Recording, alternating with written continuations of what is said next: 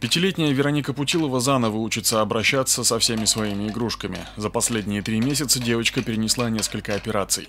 Врачи пытались восстановить кровоток в ее руке, но действия медиков результатов не принесли. Левое предплечье ребенку ампутировали. Сложности вот э, то, что у нее сейчас маленькая ручка, она сейчас сама не одевается, мне приходится помогать ей.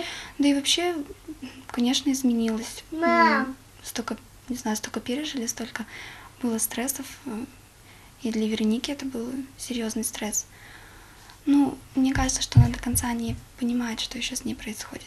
На дому Светлана ухаживает за дочкой уже три месяца. Сейчас в ежедневном меню ребенка десятки медицинских препаратов. Девочка стала капризной и часто жалуется на боли в руке.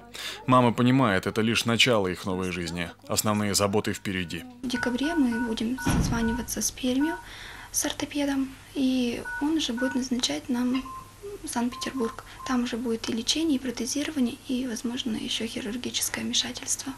Как считает Светлана Огородова, если бы медики действовали грамотно, руку Вероники можно было спасти. Тем временем Березняковский следственный отдел Следственного комитета при прокуратуре Пермского края возбудил уголовное дело по статье причинения тяжкого вреда здоровью по неосторожности, совершенное вследствие ненадлежащего исполнения лицом своих профессиональных обязанностей. Следственным органам предстоит установить конкретных лиц, от действий которых и пострадала Вероника. Антон Шибанов, телевизионная служба новостей.